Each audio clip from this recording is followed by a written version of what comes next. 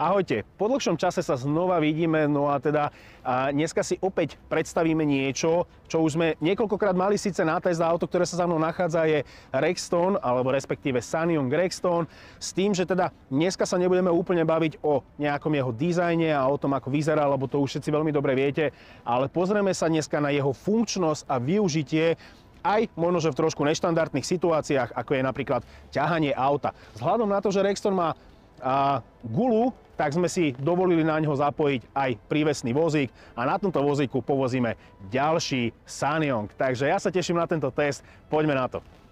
Dovolenku cez cestovnú kanceláriu DAKA vybavíte pohodlne kedykoľvek cez internet alebo v našich pobočkách. V ponuke máme poznávacie, ale aj pobytové zájazdy či exkluzívne plavby.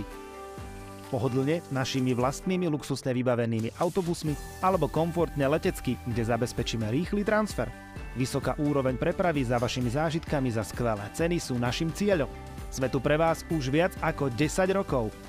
www.ckdaka.sk aby sme si teda pozreli aj trošku niečo znútra, aby ste videli, ako autičko vyzerá. Máme ho v bielej metalíze, plus vo vnútri sa nachádza hnedá koža. Je to klasická štandardná výbava, na ktorú ste v našich testoch zvyknutí, to znamená vyhrievané sedadlá, všetky tieto antikolizné trakčné systémy a proste všetky tieto záležitosti vzhľadom na to, že je to Premium Plus, je to tá najvyššia verzia, ktorá je momentálne predávajúca alebo predať, predávajú ju v Sanyongu. Čo je však dôležité a musím povedať, že momentálne sme boli v komunikácii so samotným Sanyongom, no a Sanyong prichádza s verziou Klub, ktorá sa bude pohybovať niekde okolo 35 tisíc.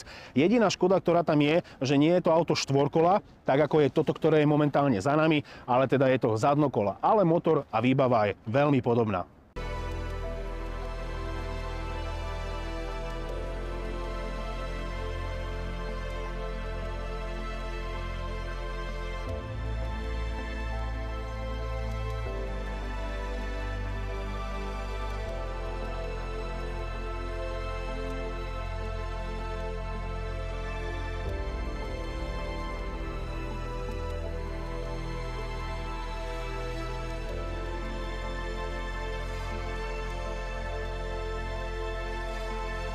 Momentálne sa už nachádzame pri zadnej časti vozidla s tým, že klasika kufor, tak ako sme už zvyknutí, viac ako 1000 litrov. No a v túto spodnej časti sa nachádza e, zariadenie, do ktorého sa bude montovať teda gula. Gula nie je pevná, to znamená, že môžete si ju kedykoľvek vyňať alebo odňať z auta, nešpatí to auto a žiadnym spôsobom teda nemôžete spôsobiť nejakú kolíziu, že by teda ste do niekoho nácovali, teda predsa tá gula trošku trčí. Takže myslím si, že toto je ďalšia vec, ktorá je veľká výhoda tohoto auta.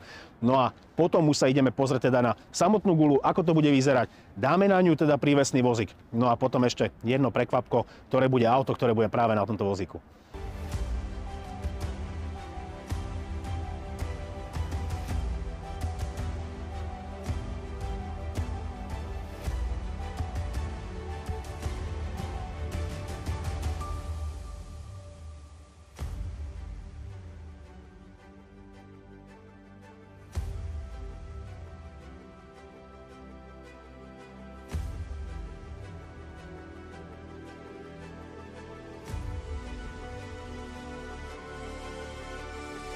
Takže test je úspešne za nami, no a otestovali sme si teda, ako sa bude správať Rexstone, keď bude ťahať za sebou, myslím si, že relatívne rozmernú, uh, rozmerný náklad. Musím povedať, že bol som uh, trošku v niektorých veciach sklamaný.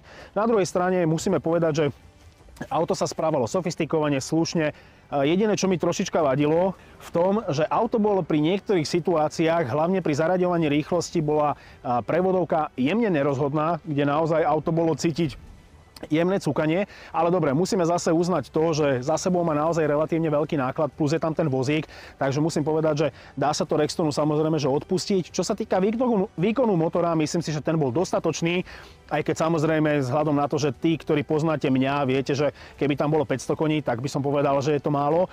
To znamená, že musím povedať, že Rexton je na príležitostné ťahanie, nehovorím ako pracovné auto, ale na príležitostné ťahanie si myslím, že je naozaj dostatočný, či už výkonom, rozmerom, alebo teda samostatnými jazdnými vlastnosťami.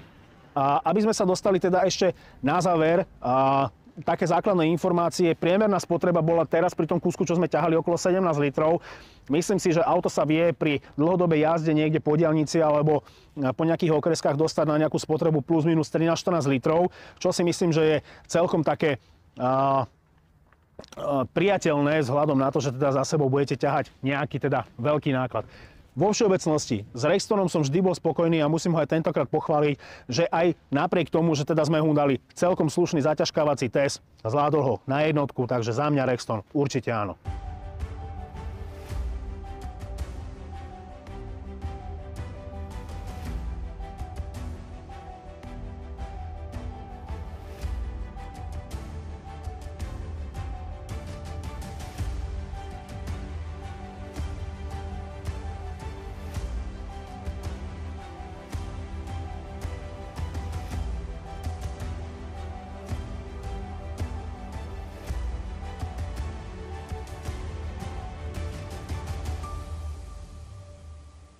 No a pomaly sa nachádzame na konci nášho dnešného testu a ešte dve veci, aby som vám nezabudol povedať.